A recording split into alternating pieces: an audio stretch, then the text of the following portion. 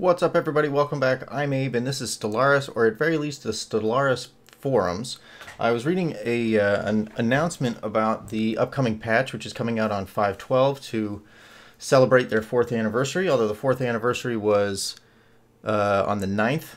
But either way, the 12th is, I believe, Tuesday, and that's the day that these that this video will go live. So Hopefully you finished all the games that you've been playing currently because they will all be outdated and unable to be accessed unless you roll your game back to an earlier version.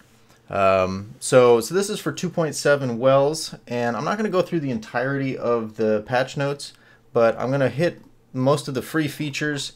There is quite a bit to digest here, and then there's stuff for balance. I'll probably talk through that, go through stability and performance. Like I'm not going to go through stability and performance, I don't think. UI, AI, modding, or bug fixes. There's just there's too much content here, and uh, yeah, if you're interested, I'll post a, a, link to the this forum thread in the uh, in the video description below, so you can go over and spend some time really digging into it. And on second thought, maybe I will get into balance. Um, and maybe AI, just because I think that might be interesting. Yeah. Yeah. All right. So let's get into it. From the top. Uh, let's see. Wells 2.7.1. The Federation votes show the voting method in the voting pop up. Law votes also show the current law of that category. The galactic community will occasionally send strongly worded letters to empires that are in breach of galactic law, giving them an opportunity to make all adjustments necessary with a single bureaucratic stroke. That's good. 70 plus original audio assets remastered, new ship designer sounds with more variations, loads of new ambient planet reveals, mono to stereo upgrade of legacy sounds, technical fixes on several sound effects. Uh, let's see, added extended shifts, edicts, which increases worker and slave output at the cost of happiness. I mean, they're slaves, so they're not going to be terribly happy anyway. I guess that's probably a boon for folks who use slaves added industrial subsidies edict, which increases consumer goods output of artisan jobs at the cost of energy upkeep. It is unlocked by global production strategy tech. Okay, that's good to know. Whoever that gentleman is or gentlewoman who made that massive image that shows the entirety of the research tree may need to uh, update their image. Let's see, added industrial subsidies, which increases consumer, we saw that. Added forge subsidies edict, which increases alloy output of metallurgist jobs at the cost of energy upkeep. It is unlocked by global production strategy tech. Uh, it sounds like that tech is what's going to be needed for most of these edicts. Uh, added extended shifts edict, which increases worker output at the cost of worker happiness. It is unlocked by workplace motivators, domination tra uh, tradition. Added drone overdrive edict for Gestalt or no, I think it's Gestalt. Gestalt? Gestalt. No, it's Gestalt. Gestalt empires that is unlocked by the drone network's domination tradition. Added evacuation protocols edict, which is available to doomsday origin empires. Implemented slave trade resolutions. Which peace offer is possible must now be scripted per war goal type. Added accessibility settings for multiplayer chat. Added new visual effects and sound effects or special effects. Visual effects and special effects for space storms, which can appear randomly from the mid-game onwards. That's cool. Uh, added new visual effects and special effects for nebulas, crisis systems, consecrated planets. Added a new or added a galaxy generation option to completely disable Xeno compatibility. Added some envoy-related events. Added new HiveMind name list. Added a joint operation event chain for galactic unions and research cooperatives research cooperatives, hegemony federations for trade leagues. All of those things have new joint operation event chains.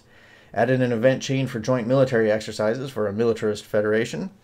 Habitats no longer require moving, removing mining or research stations and can be built directly on top of them. That's fantastic. I'm tired of having to pull stuff out just to figure out whether I can put a habitat there or not. Habitats built above nanite deposits now retain the nanite production. Habitats built Looks like my son is waking up, so I'm going to have to make this quick. Um, habitats built above Zro, dark matter, living metal, or nanite deposits are now treated as research habitats. Added a home system each for Tiyanki and space amoebas. Added several events to spawn amoebas and uh, I think space whales during the, let's see, Tiyanki and Space Amoebas, I would guess they added several events to spawn amoebas, probably and Tiyanki during the game. Added the Tiyanki Conservation Act resolution to the galactic community. Added the Tiyanki Pest Control resolution to the galactic community. Added a Space Amoeba Protection Act galactic resolution, letting all countries peacefully coexist with space amoebas or face the consequences. Added a new Tiyanki hatchling type and randomized Tiyanki fleet compositions. I apologize for my pronunciation if it's terrible. New Tiyanki fleets can now spawn from their home system. Added a new roaming space cloud. And the comment of their home system, one of the highlights of this is that uh, a lot of these, the space whales and all of these other sort of creatures that you would come across, will now have home systems that continually spawn uh, these creatures. So any of the research you get from them or that you've been working with for them, you'll uh, actually be able to benefit more from. Uh, added a pirate fleet, which may also spawn in the late game, rating basics for basic resources, rating systems for basic resources. Added turbulent nebula systems where ship systems are impaired. Remnant's origin is now unlocked by owning either ancient relics or federations, does not require both. Orbital habitats now have reduced tech and construction requirements and start with four districts. Two additional tiers of habitat technology have been added, which unlock planetary decisions to expand the size of your habitats. Advanced habitats can also support basic housing buildings. The Voidborn Ascension perk has been changed to give each of your advanced habitats two additional building slots and the new habitat technologies as research options, and permit the construction of advanced housing buildings on advanced habitats. Void dwellers now begin with their capital habitat upgraded to be an advanced habitat and have habitat expansion available as an engineering research option. Mining drones can now occasionally expand to nearby unclaimed systems. Crystals can now occasionally spawn a single ship that seeks out faraway asteroids to crash into and spawn new crystals. That's cool. Um, made it possible for edicts to be running perpetually until turned off. That's also nice. There is now an edict capacity, and going over it means a hit on Empire Sprawl. That is not as nice. Do not like. Praise be, a new set of resolutions have been added to the galactic community that uphold the divinity of life. We expect the righteous empires of the community to support this cause. Favors can now be used to convince your Federation allies to accept your law proposal. Added expanded breeding program edict that is unlocked by the gene crops tech. Let's see balance. Encourage planetary growth decision has been removed from the game. Food policies removed from game and nutritional plenitude has been changed into an edict, now unlocked by the Gene Crops Tech. Healthcare campaign, drone campaign or hive, and drone campaign machine have been removed from the game. Interesting. Inward perfection civic effect on growth speed reduces from 20% to 10%. Inward perfection civic now also increases edict cap by plus one. AI empires are more willing to conform to galactic law. Greater Than Ourselves now moves pops more regularly and more often. Adopting diplomacy traditions no longer increases pop growth from immigration, but unlocks the di diplomatic grants edict instead.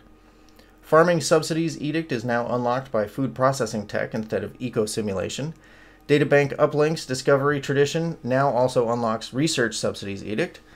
Adopting discovery traditions now also unlocks map the stars edict. Gestalt crystal mining, gas extracting, and mote harvesting drones are now classified as miners, like their non Gestalt counterparts. This does not alter drones working in synthetic special resource production jobs. Increased the duration and research boost for rewards from Joint Operation, Dismembered Cloud, Galactic Union, and Research Cooperative. Uh, cut the size of rebel, ar- rebel armies spawned when revolts take place by a third nerfed the randiness induced by event spawned mushroom spores so that the planet no longer turns into a pop factory. Uh, added some help for the AI to not die as badly when doomsday happens. Galactic Community Senate debate has been reduced to four years. The cooldown on declaring a resolution an emergency measure has been increased to 20 years. Increased the chance of getting the Lesser Messenger arc site. You no longer need to demolish mining or research stations to build Dyson spheres or matter decompressors. They will automatically remove those upon completion. That too is great. I was it was a pain in the ass. Wenkwort Artem is no longer a viable candidate for the Ecumenopolis project if you accept custodianship of its unpaved paradise. Hive minds will now treat hive minded pops that aren't of their species as full members of the hive, meaning that they must be given full citizenship and can no longer be enslaved or purged hive minded pops that aren't of their species Hmm.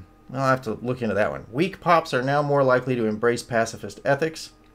Makes sense. Marauder successors, state civics, now have an effect plus 15% naval cap and plus 10% ship fire rate, respectively. Space clouds are now individually far more powerful, but no longer spawn in fleets.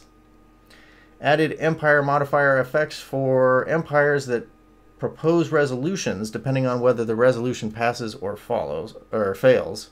And killing Tiyanki now yields energy and exotic gases, but upsets xenophile empires. All right, so let's go on down to the AI. I don't think it's too long. All right. AI will always use the best available template when modifying a species to avoid creating hundreds of species with just a few pops each. AI takes edict cap into consideration. The AI now takes the it takes that into consideration when deciding which edicts to enact. The AI will always try to be at the edict cap, prioritizing removing exceeding edicts over adding new ones. Updated AI economic plans to support subplans also made it so that if the AI finishes a plan early, it can take a plan ahead of time.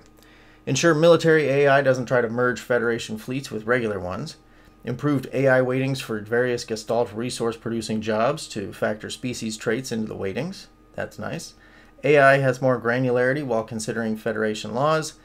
Align AI evaluation code between ask to join and invite to federation, hopefully fixing the issue where AI Nation continuously asks to join a federation. Fixed economic AI computation of admin cap and subplans in general. Improve AI economic plan logging, and military AI should issue orders to orbit in the current system when waiting for others to regroup. Now, my question, and I think most of this uh, applies to NPCs or your your enemy factions that you're going up against. But I hope that a lot of this will also impact if you automate the planning and production of your planets. Because when you have like 20 plus planets, it is the entire game just building stuff and managing all of those planets. And hopefully the AI will get good enough that you feel, or that at least I feel confident leaving it to them to manage my planets and not find myself in a massive hole for my economy. So anyway, so that's it. Uh, look for more par- uh, look for more Stellaris videos in the coming weeks. Now that this patch is out, I'll probably be doing a, another little recap of where we are now, what what's available in the starting factions and everything, and doing some gameplay. So thanks for being here. Thank you for watching.